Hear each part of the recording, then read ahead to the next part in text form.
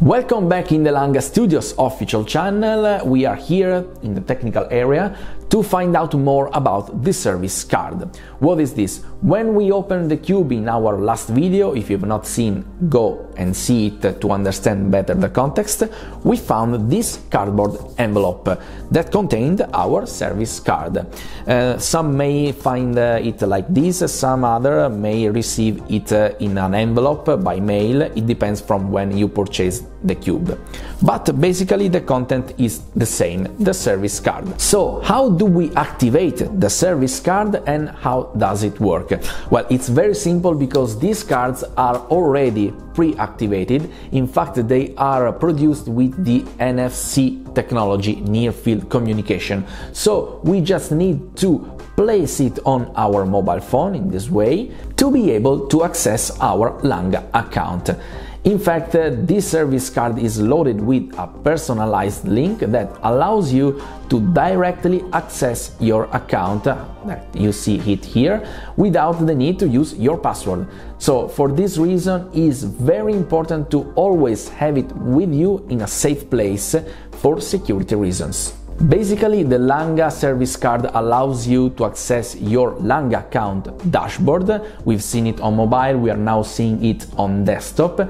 And your dashboard contains uh, data relating to projects with us and other sensitive details such as uh, payment methods, addresses and more, but we are going to see it here. When you enter your dashboard, you can see in the menu on the left the whole list of services for which Langa issues its uh, services cards.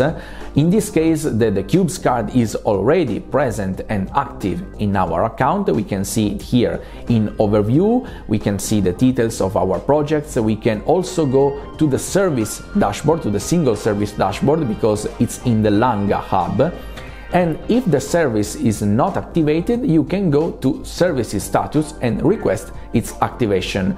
Once you request the activation of a service, you will see the message like here under review and the Langa administration will activate or deactivate the service for you for your request. The Langa account dashboard is useful for a very specific reason, because it is the main point of contact between the customer and the technical team. This contact can happen in three different ways and each one depends on the nature of the contact itself.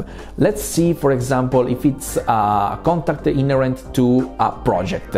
In this case, we just go to the report section of the service and we will find a web architecture that reminds a bit on uh, an email box. So it is a mailbox. In fact, you can contact and be contacted by the technical team that follows the projects and this box is the same for all services. Each message will have the corresponding IDSI for the project. There is also the help page where you can uh, request to be contacted for a specific issue. You can insert your mobile phone or you can open the live chat in a new window to uh, talk directly with uh, the technical team about uh, your issues. For this, we have also the message center, which is uh, basically the live chat in a dedicated page. We at Langa believe that security is one of the fundamental aspects of our work and we aim to guarantee it for every one of our customers. We often have found ourselves dealing with cyber fraud cases such as phishing and we understand that ensuring customer safety must always be our top priority. Each service card is strictly personal and must be stored with care. If you find that you lost it, you must immediately contact Langa to activate the security procedures and protect the access to your account. Because you see, your Langa account contains a lot of data that you can modify, you can edit, you can, uh, for example, add your preferences, your address, your contact methods, or your payment methods. Here you can see that we have different payment methods in our account, so it's very important that you keep your service card in this case, we also own a business account, not just a personal account. That means that we can switch our account to the business dashboard. This is an action that has to be allowed by the Langa administration because not everyone can be a business account. But here I show you quickly because uh, I'm not showing you everything in detail. We will make a dedicated video for the business partners, but here we can manage uh, the insertion, the advertisement options, and etc.